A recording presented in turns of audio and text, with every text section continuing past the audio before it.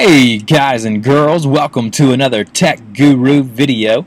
Today I've got a really neat trick that is really just a, uh, a fun a fun video that I want to make today. If you are a Mac user uh, and know how to access the terminal, the terminal is kind of like the back end of the Mac. You can do all kind of stuff from it. It's kind of like the old DOS uh, system or the DOS command prompt for Windows.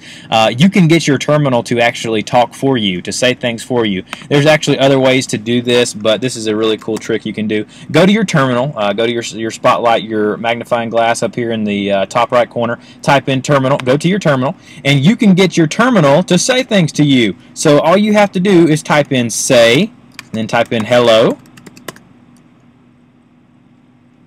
Hello. And there you go. It took him a while, but he said hello. Let's turn it up a little bit here. So let's say, say, how are you doing?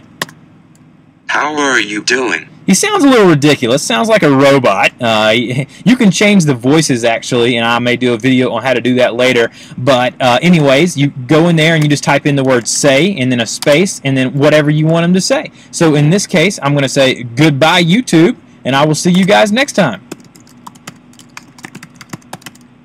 Goodbye YouTube. See you later, guys.